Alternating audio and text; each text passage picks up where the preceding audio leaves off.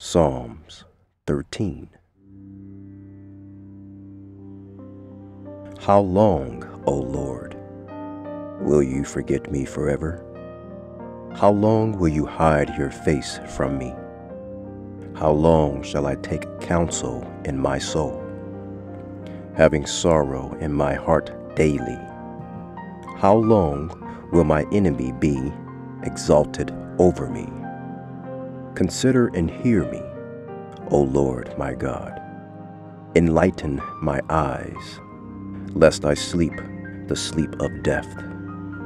Lest my enemies say, I have prevailed against him. Lest those who trouble me rejoice when I am moved.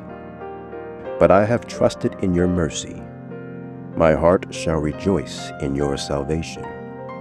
I will sing to the Lord because he has dealt bountifully with me.